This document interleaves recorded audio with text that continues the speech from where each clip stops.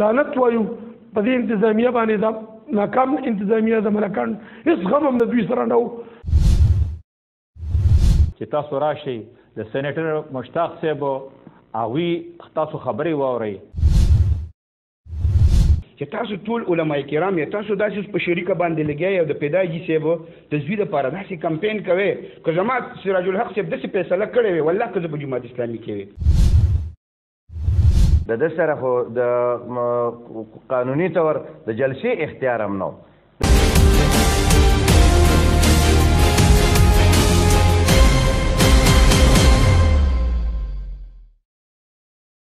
بسم الله الرحمن الرحیم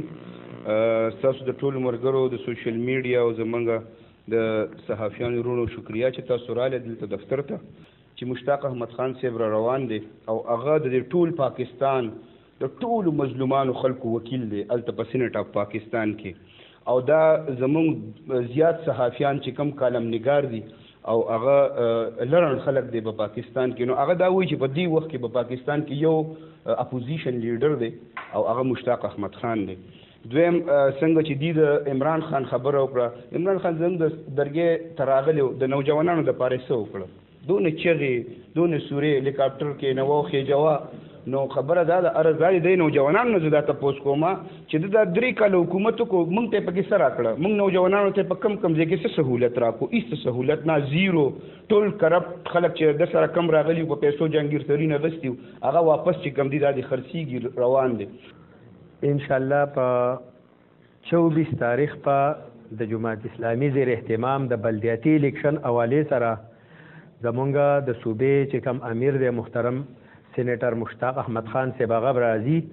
او دلته په دې تحصیل کې بلدیاتي کنونشن ولمونکو سیاسي جلسې به کوغه ته خطاب کوي مونږ درګی تحصیل چې څومره دلته زمونږ عوام دي زمونږ خلک ته تاجر به را لري دا وکلا دي او ډاکټران دي انجنیران دي علما دي مونږ غوي ته دا اپیل کو چې په 24 تاریخ په کوپر کې پس خاکور کې او په درګۍ کې به ان شاء الله دا کنونشني دا به د بلدیاتي الیکشن حواله سره سېنیټر مشتاق صاحب په 24 تاریخ باندې دلته روان دي او د هغوی په کوپر کې جلسه ده په دوه بجې باندې او دلته په ساکوټ کې ده او بیا بله جلسه ماښام شپږ بجې په درګۍ کې ده نو زه ټول عوامو ته د تحصیل خصوصا د تحصیل درګۍ او د ټول خلکو ته زما دا یو اپیل دی چې تاسو راشئ د سېنېټر مشتاق صاحب هغوی تاسو خبرې واورئ څنګ چه دهغه د ملکنډ تحصیل لپاره هغه لګیا دی اواز اوچتوی د ملکنډ تحصیل د خلکو لپاره هغه کوم اواز اوچتوی د هغوی هغه خبری تاسو واورئ او د هغوی دا جلسه تاسو کامیاب کړئ او د جماعت اسلامی د منشور نه تاسو ځان خبر کړئ جماعت اسلامی ډیر بنیادی کارونه کړی دي که په دې تحصیل درګی کې ګوره که د درګی اسپتال له که دا نور کم اسپیټالونه دي په دې علاقو کې کوم کم سکولونه دي کم کا دا کالج دی دا ټول جماعت اسلامي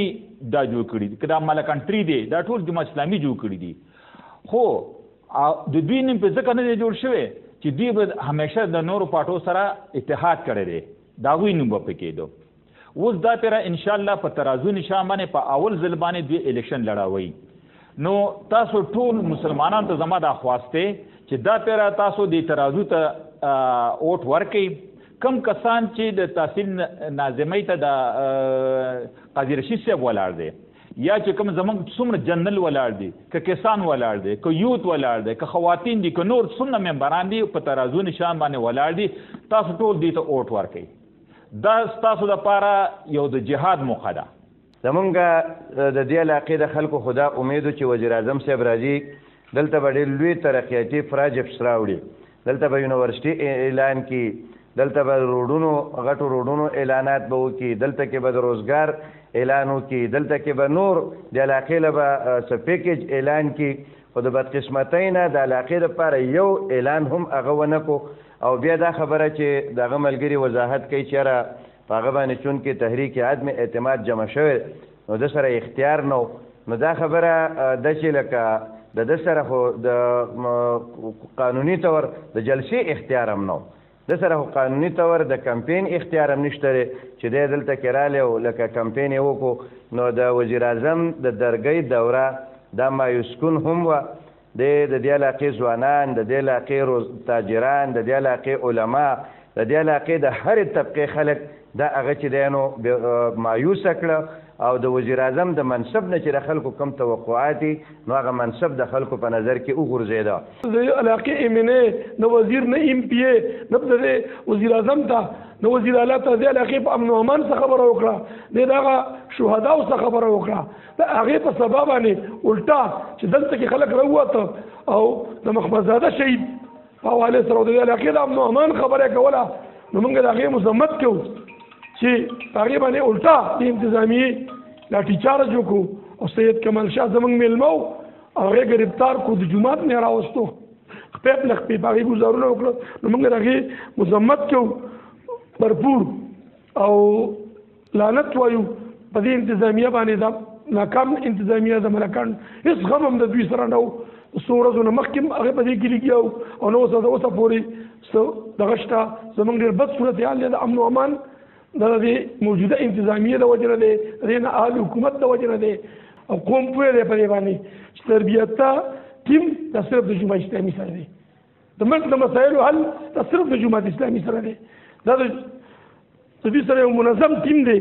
تربیت تربیت ته خلق دی وسره امانتدار او دیانتدار خلق دی وسره او صادق او امین لیډر دی وسره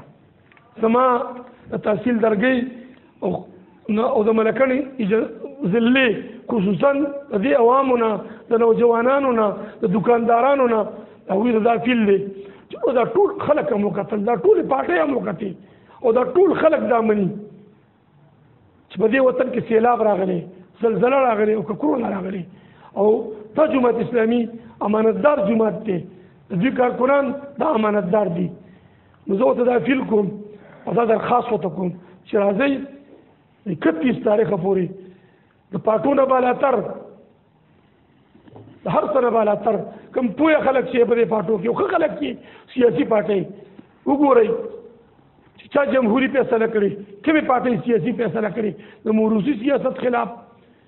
د پیسو خلاف دا زموږ په علاقه په کوم خندا کیږي د دې خلاف راپاسته یو جماعت اسلامي سپورټ کوي